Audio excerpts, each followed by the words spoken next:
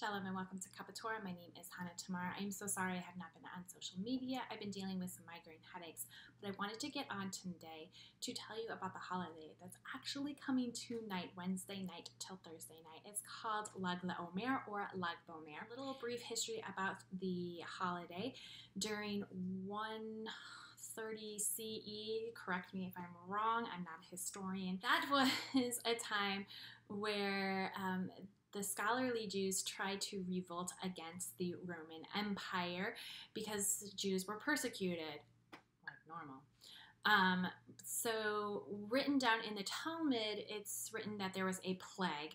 The reason why we call it a plague is because if somebody would write or talk about the revolution, they would be, um, they would they would die. So um, we loophole and called it a plague. During the month of Omer, you mourn the loss of these scholarly Jews um, during this plague. And as Lag B'Omer comes, that's the time where this plague ended, and we could rejoice and we could be free to be Jewish, however we choose to be. Start the night with a big, huge bonfire. Now, I like to think of the bonfire as a as a um, it's dark and then dark days and then one little tiny spark lights this amazingness and it only takes one tiny spark to um, fuel this amazing fire a fire either inside of you or just physical fire. I like to take my plagues that I have been working on through the month of Omer by doing the counting. I do um, meditation or I write in a journal. And whatever is plaguing me at the time, I um, mentally throw into the fire. If you want to physically write down all the things that are plaguing you and th- physically throw it into the fire, that sounds amazing. Tell me if um, if it helps you. Watching that, watching your plagues burn, and watching this energy. Um, and fuel the light fueling you and um, this energy fueling your soul to become a better person and to um, just to rejoice in being alive. And, you know, out of the darkest days, there comes a light. And it sounds like I just quoted Harry Potter, kind of. Oh well. During the day of Lag B'Omer, we do all these picnics and there's tons of barbecues, and it's a very communal um, holiday.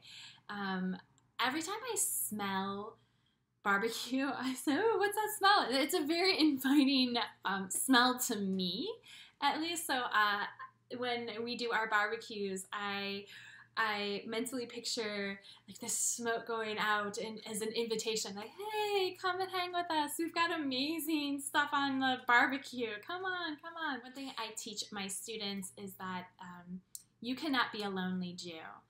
And what that means is you you cannot practice Judaism alone and you need to have a community whatever community means to you. Uh, community can mean one thing um, for one person and can mean another thing for another person. But you can't live fully without a community, without um, partnership, and with other people.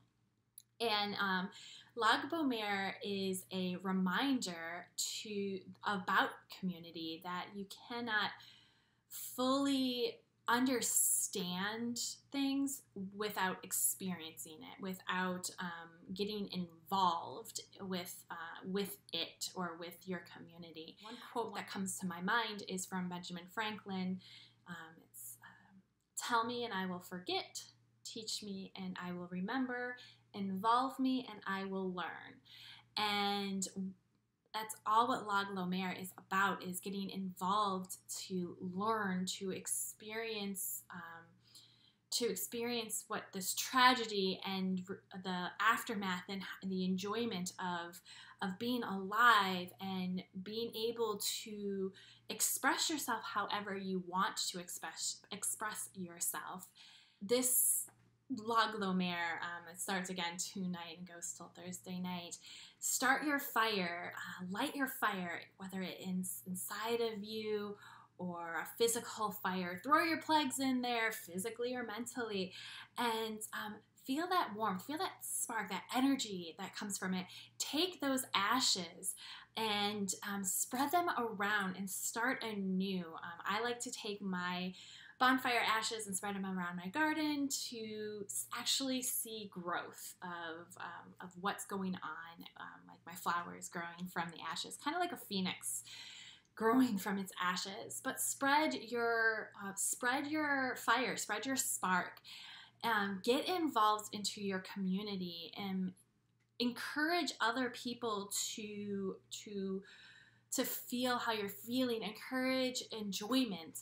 Um, spread love, spread uh, spread joy. So again, I hope everyone has a wonderful Lag or Lag Mer, and um, I hope that sparks this sparks something in you, and a flame comes from this, and this energy arrives from you, and uh, spread spread this out to your community. Spread your love out to your community. And on that note, I will say, Shalom.